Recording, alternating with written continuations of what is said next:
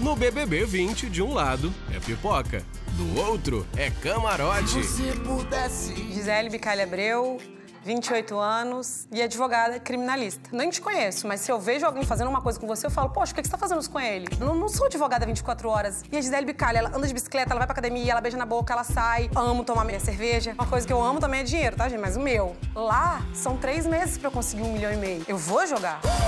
Meu nome é Gabi Martins, tenho 23 anos, mineirinha, uai. Eu sou cantora, eu canto desde os 6 anos de idade pela influência do meu pai, que sempre foi a minha inspiração de vida. Comecei a postar vídeos na internet e aí vários cantores começaram a repostar. sempre quis participar de um programa desses. Eu assisti com minha mãe, vai ser algo que vai mudar a minha vida completamente. Terça depois de Amor de Mãe. Vou beijar na boca, vou dançar até o chão. Acredito que o Brasil vai gostar de mim. Partiu. Big Brother Brasil.